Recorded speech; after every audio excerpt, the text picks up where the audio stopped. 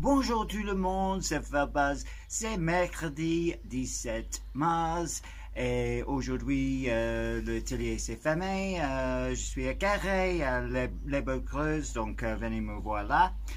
hier j'ai fait escargot et deux moutons.